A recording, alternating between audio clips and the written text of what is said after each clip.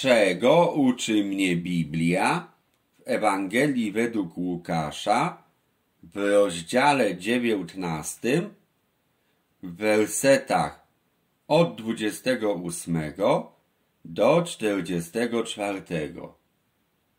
Gdy to powiedział, szedł dalej, zdążając do Jerozolimy.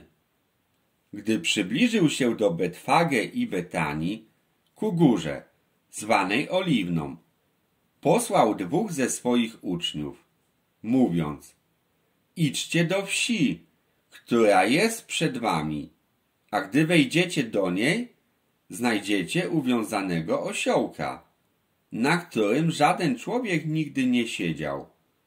Odwiążcie i przyprowadźcie. Jeśli ktoś spytałby was, dlaczego go odwiązujecie, tak mu powiecie.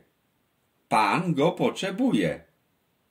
Odeszli ci, którzy byli posłani i znaleźli, jak im powiedział. Gdy odwiązywali osiołka, powiedzieli jego panowie do nich. Dlaczego odwiązujecie osiołka? Oni powiedzieli. Pan go potrzebuje. Przyprowadzili go do Jezusa włożyli swoje szaty na osiołka i posadzili Jezusa na nim. Gdy on jechał, słali swoje szaty na drodze. Gdy przybliżał się już do podnóża Góry Oliwnej, zaczęło całe mnóstwo uczniów głośno, radując się, chwalić Boga za wszystkie przejawy mocy, które widzieli.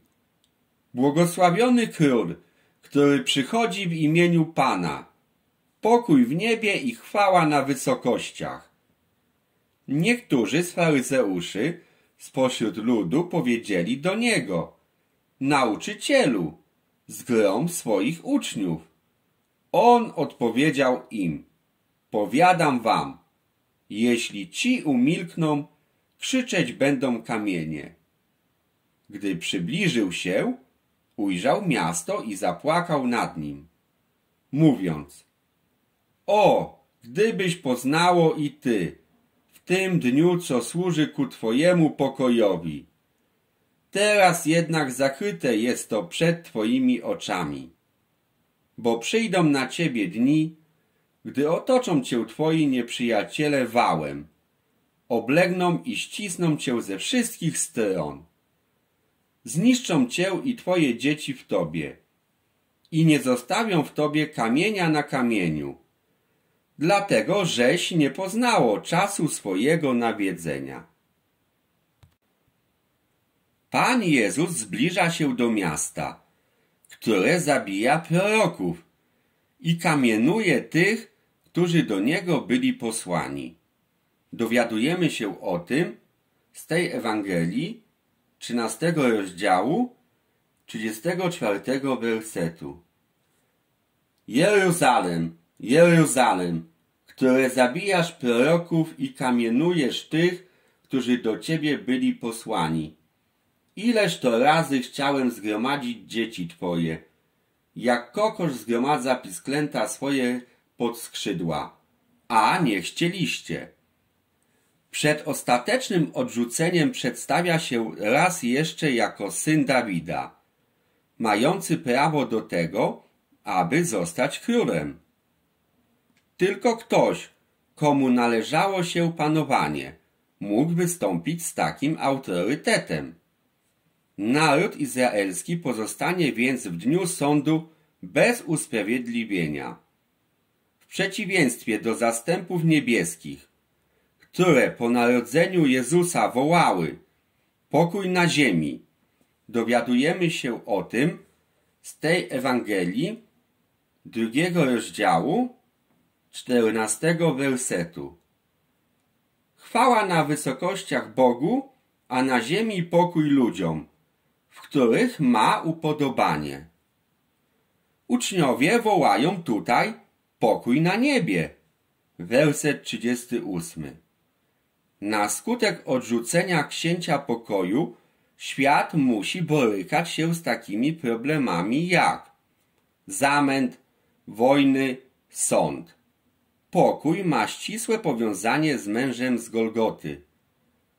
Kiedy uczynił pokój przez krew swego krzyża, dowiadujemy się o tym z listu do Kolosan, pierwszego rozdziału, dwudziestego wersetu. I żeby przez niego wszystko, co jest na ziemi i na niebie, pojednało się z nim dzięki przywróceniu pokoju przez krew krzyża jego.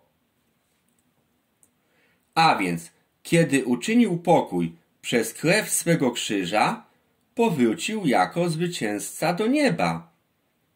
On sam jest naszym pokojem bez względu na to, czy jesteśmy Żydami, czy pochodzimy z narodów. Dowiadujemy się o tym z listu do Efezjan, drugiego rozdziału, czternastego wersetu. Albowiem On jest pokojem naszym.